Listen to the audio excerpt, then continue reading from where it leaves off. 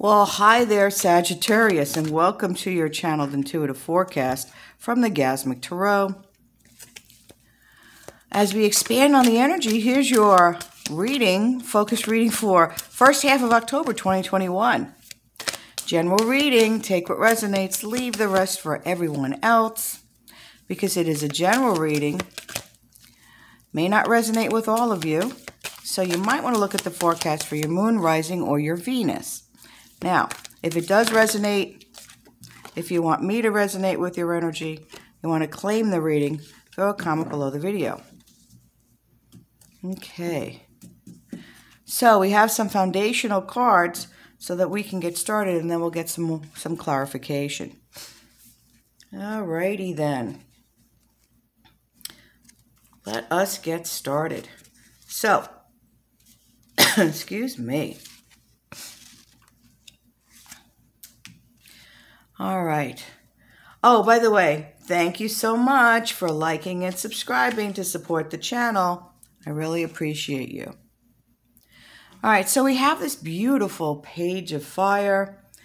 And, you know, we're in the Mercury retrograde right now in this first half of October. And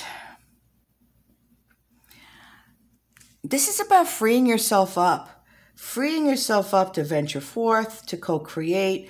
You know, this is a time where you're becoming enthusiastic again. Everyone else is releasing. You're you're actually becoming enthusiastic about what's in front of you.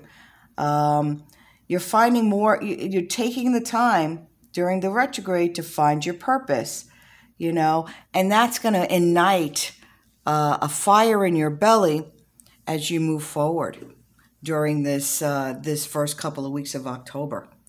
So really good card for you as you're you know wanting to release what doesn't serve you, but really ideas are flowing here. You know what's the next thing, and then we have this two of fire, and the two of fire is about planning for the future, creative planning, mapping, trusting the unknown, and it's about spirit inspired ambition. You know, whenever you can't see how your dreams um, will coalesce into into form or, or form into something tangible, you know, you can trust the process of co-creation as you engage spirit in what you're doing. So really this is the time for you to maybe you've done a lot of your release ceremonies of releasing the past hurts, etc but it's kind of like you're going to be making plans. You're making plans so that you can hit the ground running when everything goes direct. And then you have the Ace of Earth, okay? And the Ace of Earth is about prosperity in its purest form. That's right, money. Concrete results in the physical world, abundance uh, that actually manifest in this reality. And, you know, it's about recognizing that abundance comes in many forms.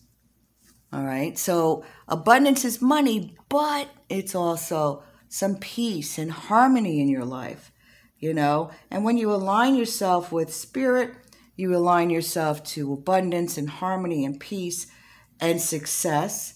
And, you know, there's, I'm saying, you know, a lot you you can generate gold from these resources that you have at your disposal. The essence of prosperity is taking um, taking note of all the different positives in your life, and if you can find yourself that Calgon moment, that is a form of abundance. So that's fabulous for you. Let's get a little clarification here from the smallest deck in the world. Okay. All right, Spirit, a couple of cards would be great. Thank you. A couple more cards would be good. So let's see what Spirit has to say here.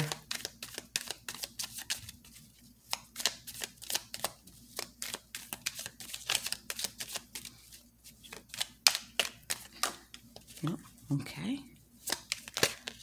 Thank you. How about another one? Thank you. Okay. Ooh. Ooh. Okay. Look at this. Wow. Wow.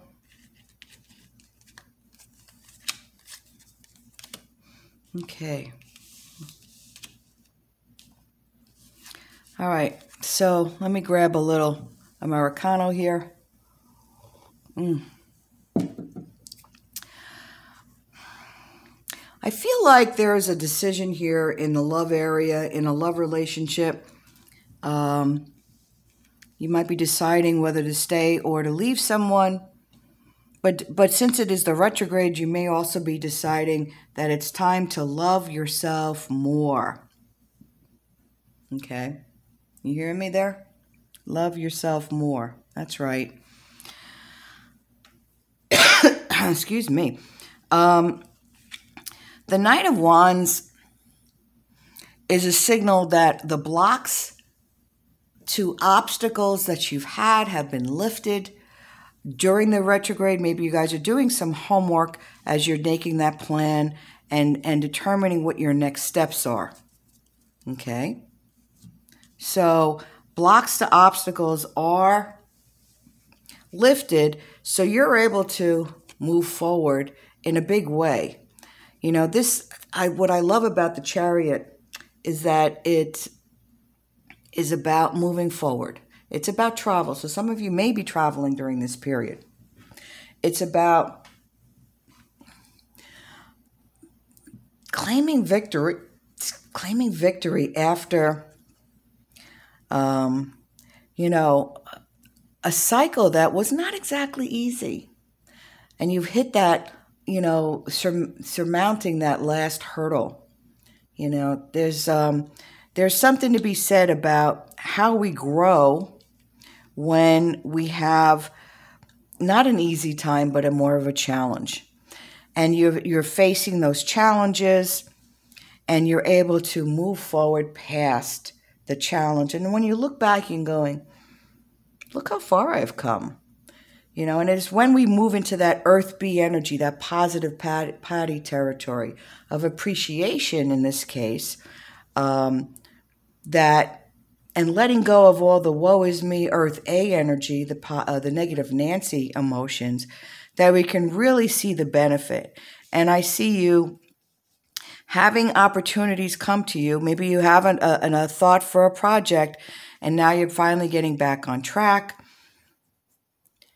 moving into something that's going to have you um, bring into that material world the uh, the actual realization of that project and actually uh, being able to see some kind of uh, remuneration, some kind of money from that.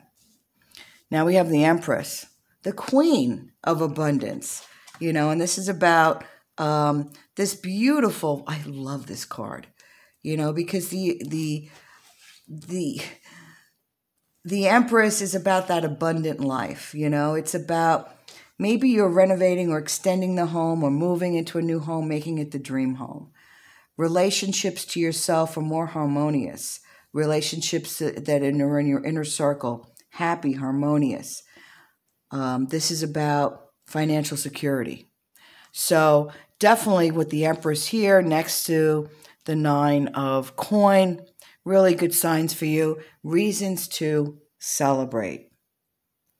You have reasons to celebrate. And once you appreciate what those are, that's when the doors will open to the bigger and the better. Remember, it's all about, especially when you're dealing with energy and attraction, it's all about the vibration that you're pushing out. No, no, no, no, no, no, no, no, no. That's allowing, you know, that's that's like um, you know, the um, the sonar on a on a dolphin and it bounces back towards you. If you're going to bounce out 90% worry, then you're only going to get back worry. So let's try to eliminate those negative Nancy energies and let's see what we can do as you're moving forward in this first half of October. I see these these beautiful cards represent what I believe is towards that last half of that first um, the, the so like around the 10th to the 15th, where the light bulb will go off and you'll start moving forward again on a project that you've been working on, something that will bring you money in future. Okay, guys, that's all I've got. Go forth and prosper and uh, have a great beginning of uh, October. We'll see you soon.